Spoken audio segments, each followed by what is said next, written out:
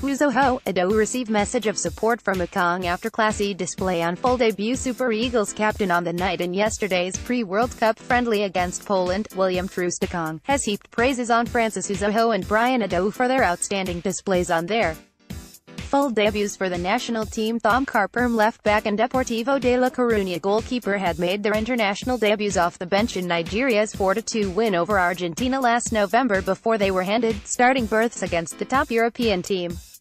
It is worthy to mention that the Super Eagles did not concede a goal in the 135 minutes they spent on the pitch in the two games against Argentina and Poland. You have to recognize that today was good seeing that Brian made his full debut at left back. Francis made his full debut as our goalkeeper today for the first time, said William Troost-Ekong at Friday's post-match press conference, so it is promising to see that we can organize a team and keep a clean sheet regardless of the chances that they had. Even though we have some young players and missing our captain John Obi Mikel.